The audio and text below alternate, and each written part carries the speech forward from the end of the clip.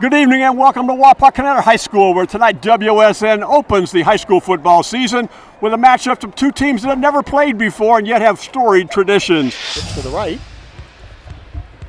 Peyton Oddie keeps, and he's got room to run up the middle. Peyton Oddie is loose. Can they catch him? Boy, he turned on the burners. And he did turn on the Jets and a 75 yard touchdown run on the fourth play from scrimmage this year. We'll put Marion Local on the board first with seven. That's an Allen Davis Insurance touchdown, specializing in auto, home, business insurance, and more. Allen Davis Insurance for your solutions provider. Boy, big hole up the middle like that. Again, a design quarterback draw, trips out to the left to, you know, spread things out a little bit.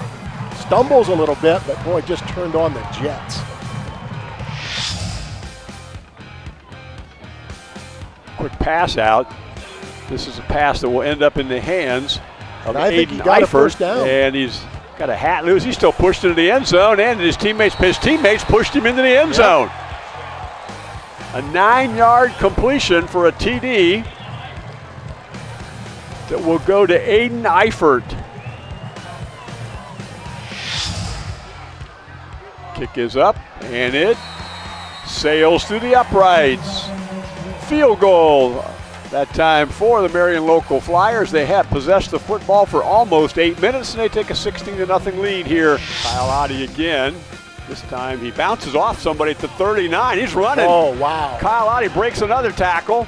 Goulet gets What a blocked. block. Yes, sir, and then steps around past Jake Schrader into the end zone. A 41-yard touchdown run. Kyle Oddie. Marion Local's done a good job now Oh, of my. spreading the ball around a little bit more and, you know, not letting Peyton run it all. But boy, watch this block coming up. Yeah, just a great hustle Well, that's, that's your quarterback. Peyton Oddie Yeah. running all the way down the field to make a block. And Kyle Oddie with a 41-yard touchdown run. Looks, throws it to the end zone, and caught. Touchdown pass into the end zone. Looks like it was caught by Walter, Caleb Walter.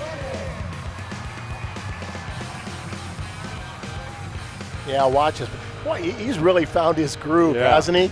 He's just gotten so much more comfortable.